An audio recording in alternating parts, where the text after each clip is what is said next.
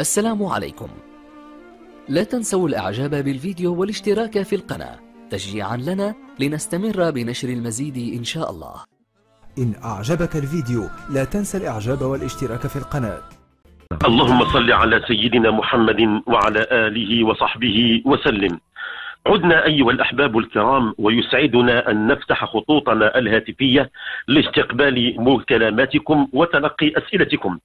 في هذه اللحظة كنا مع مكالمة من خارج أرض الوطن.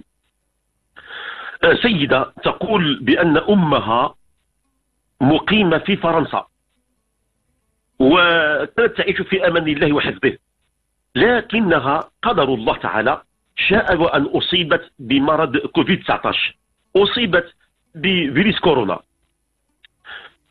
وطبعا لكبر سنها المناعة ضعيفة وبعد المقاومة والعلاج شاءت قدرة الله تعالى أن هذه السيدة تتوفى. توفيت. وبقي هذا الأمر بقي حديث جدا. السيدة تقول بأن الأم كانت عندها وصية وصت ولادها قالت لهم أنا الآن في فرنسا ولا قدر الله تعالى توفيت أمانة عليكم جميعا أنكم لا تدفنونني إلا في أرض الوطن في أرض المغرب وبالضبط في البلاد ديالها. قالت لي أنا كنحب أرضي وكنحب جدودي وكنحب أهلي وحبابي وبغيت هذيك الأرض هي اللي ندفن فيها.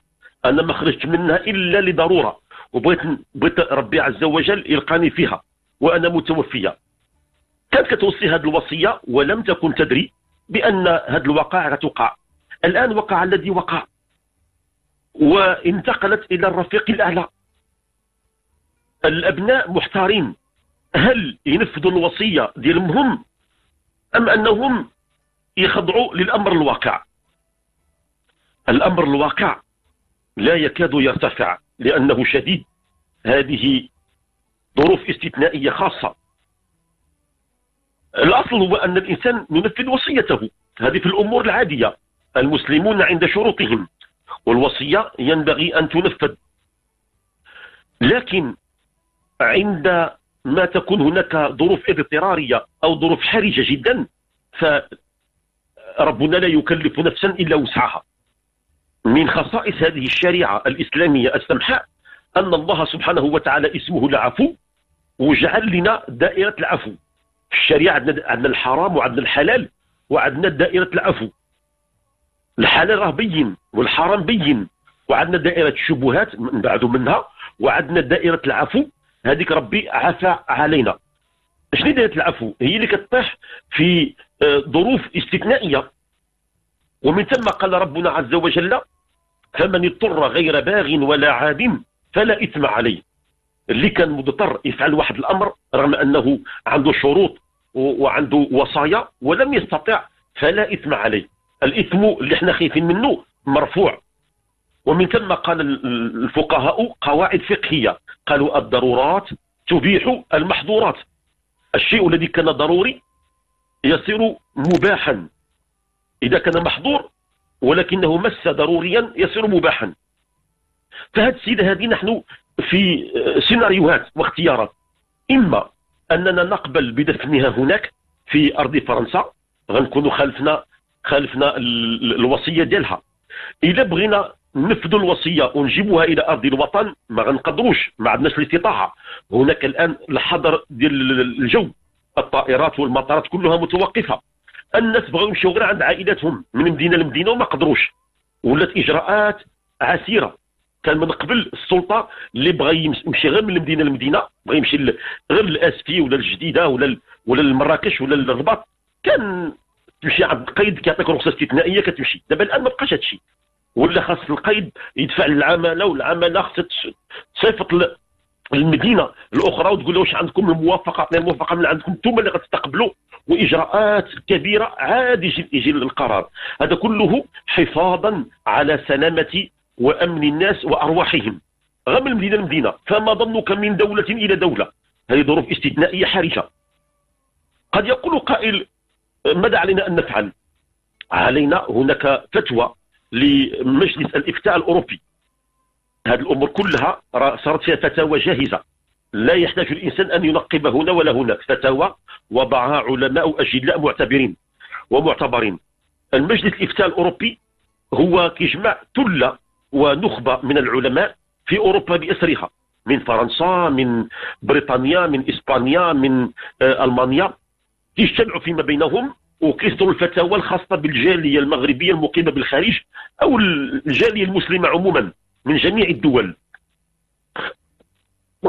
وقد طرحت مثل القضايا كثيرة عليه وكان الجواب المقنع وهو أن هذه الظرفية لا يمكن الإنسان إلا أن يدفن في في الأرض التي مات فيها. لا تدري نفس بأي أرض تموت. لابد أن يدفن هنا. في هذه الأرض ما نخليوش الجسم يبقى. لماذا؟ لا خلينا في لامورغ ما يمكنش راه مكلف. لابد أن يدفن. والحديث إكرام الميت دفنه. ربنا عز وجل أمرنا بإكرام الأحياء وإكرام الأموات أكثر. ولقد كرمنا بني آدم أحياء وأمواتا. فعلينا أن نقوم بالتعجيل بالدفن. راه النفس إذا بقات في لامورغ راه كنعذبوا ذاك الميت. راه ملي كيموت الإنسان راه الجثة كتبقى بين يدينا والروح تأتي ملائكه وتغسلها وتكفنها وتصعد بها إلى بارئها. وربنا عز وجل انتدب ملائكه في السماء تقول يا أيتها النفس المطمئنة ارجعي إلى ربك راضية مرضية فادخلي في عبادي وادخلي جنتي. ديك الليلة كتبات في مقامها في البرزخ.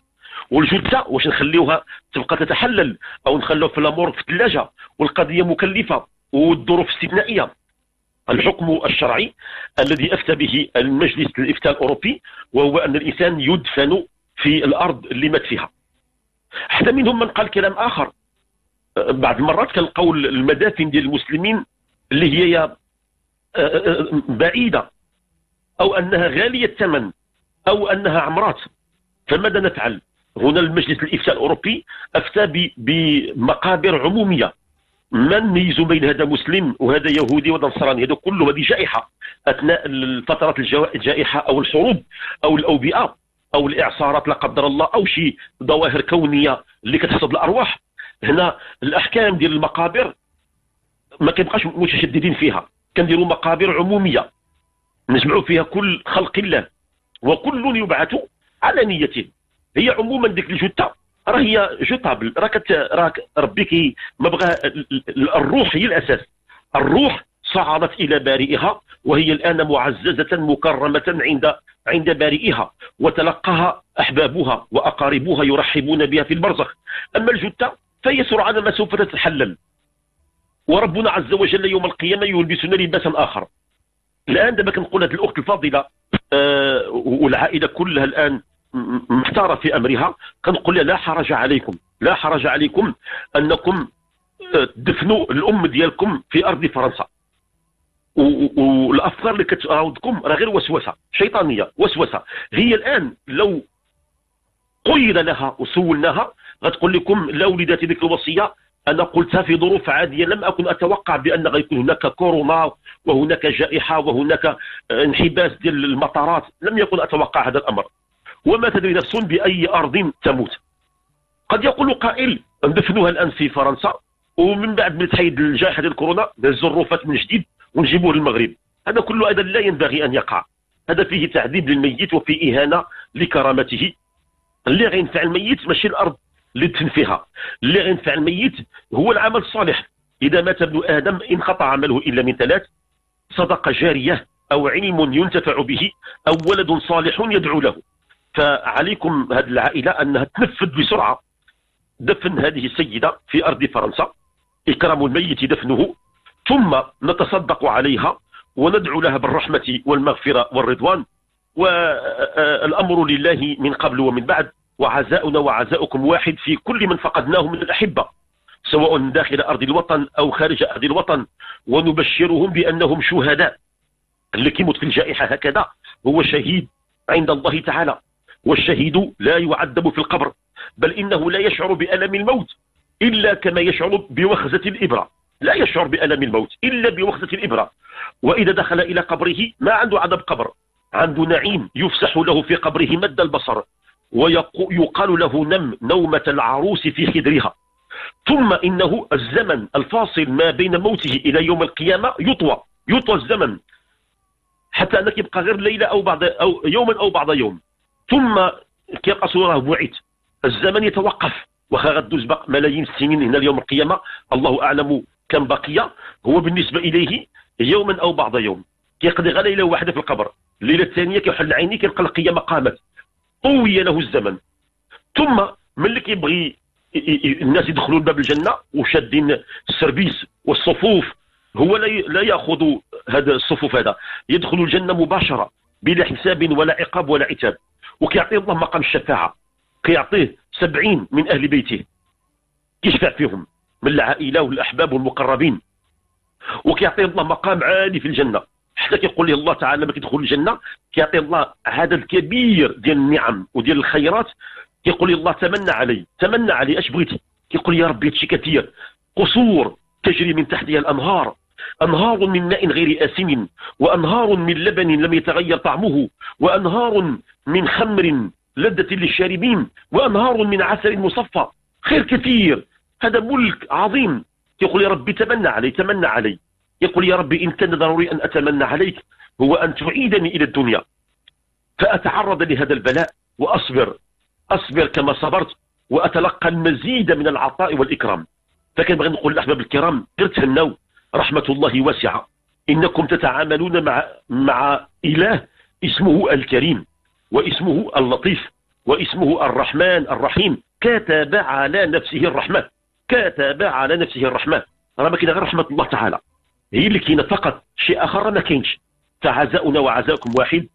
إن العين لتدمع وإن القلب ليحزن وإن لا نقول إلا ما يرضي الله وإن لله وأنا إليه راجعون.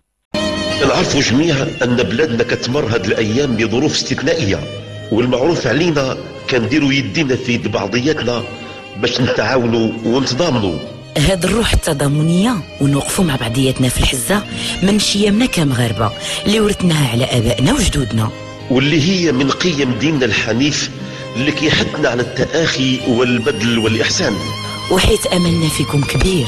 اسمعنا وكون معنا وخليك في الدار. باب التبرعات مفتوح. اللي قادر يعطي أي مبلغ ما يتسناش.